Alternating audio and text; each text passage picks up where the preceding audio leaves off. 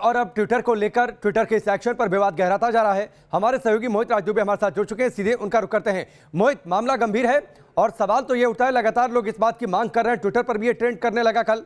जब उसने रविशंकर प्रसाद के अकाउंट को ब्लॉक किया था कि अगर आपको व्यापार हिंदुस्तान में करना है तो हिंदुस्तान के कानून के हिसाब से चलना होगा, ना कि अमेरिका के कानून के हिसाब से। बिल्कुल राकेश यही तो सवाल है कि हिंदुस्तान में आप व्यापार करें तो हिंदुस्तान के कानूनों को, हिंदुस्तान की गाइडलाइंस को तो आपको फॉलो करना ही होगा। अगर आपने देश के आईटी मंत्री का ट्विटर ब्लॉक एक घंटे के लिए कर दिया तो कम से कम इससे पहले आपको नोटिस दिया जाना चाहिए था। ट्विटर इंडिया का यह कहना है कि डिजिटल मिलेनियम कॉपीराइट एक्ट का उल्लंघन पाया गया है। लेकिन उल्लंघन अगर पाया गया तो आपको पहले नोटिस दिया, देना चाहिए था। वो आपने नोटिस दिया नहीं। लिहाजा शशि थरूर भी एक्शन मोड पर यहाँ पे दिखाई दे रहे हैं, जो आईटी मामलों के संसदीय कमेटी के चेयरमैन ने सीधे तौर पर कहा कि हम ट्विटर से पूछेंगे पूछेंगे कि आपने किस आधार पर किस बिना पर जो है आप मोहित मोहित ट्विटर जो तमाम कानून और नियमों की पैरवी करता है फ्रीडम ऑफ़ स्पीच की बातचीत करता है कॉपीराइट एक्ट का उसने हवाला दिया। लेकिन एनसीपीसीआर राष्ट्रीय बाल अधिकार संरक्षण आयोग ने जो डीसीपी दिल्ली पुलिस जो साइबर सेल के हैं उनको तलब किया है। मई में कहा गया था कि ऐसे कंटेंट है जो बच्चों के लिए ठीक नहीं है।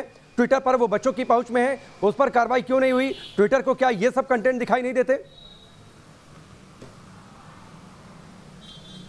बहुत अहम आपने सवाल किया कि एनसीपीसीआर ने सीधे तौर पर दिल्ली पुलिस के डीसीपी को तलब किया और यह भी कहा है कि सिर्फ़ सिर्फ़ तलब ही नहीं किया है बल्कि ये कहा है कि अब तक आपने इस पर क्या जाँच की है उस रिपोर्ट को लेकर भी आइए और हम और हमसे साझा कीजिए। ट्विटर इंडिया लगातार जो एनसीपीसीआर सवाल उठाता रहा है कि अश्लील सामग्री परोसता रहा है बच्चों से संबंधित एवं उत्पीड़न से संबंधित मामले परोसता रहा है लिहाजा इसको तुरंत तुरंत खत्म किया जाना चाहिए बंद किया जाना चाहिए। लेकिन ट्विटर इंडिया को इस बात को ये बात समझ में नहीं आती है कि ऐसी चीज़ों से बचना चाहिए था। लिहाजा दिल्ली पुलिस को जाँच करना था साइबर सेल को जाँच करना था अब तक जाँच में कितनी प्रगति हुई है क्या रिपोर्ट बनाई गई है इसको लेकर उनतीस जून को जो है चलिए मोहित मोहित फ़िलहाल हमसे जुड़ने के लिए बहुत बहुत शुक्रिया इस पूरी बातचीत के लिए। निश्चित तौर पर ट्विटर जो तमाम नियमों की वकालत करता है और खुद को सर्वोच्च मानता है क्या उसे ऐसे कंटेंट दिखाई नहीं देते जो बच्चों के लिए ठीक नहीं है? क्या उन्हें इन कंटेंट को हटाना नहीं चाहिए था जिसको लेकर एनसीपीसीआर ने अब डीसीपी साइबर सेल को तलब किया है?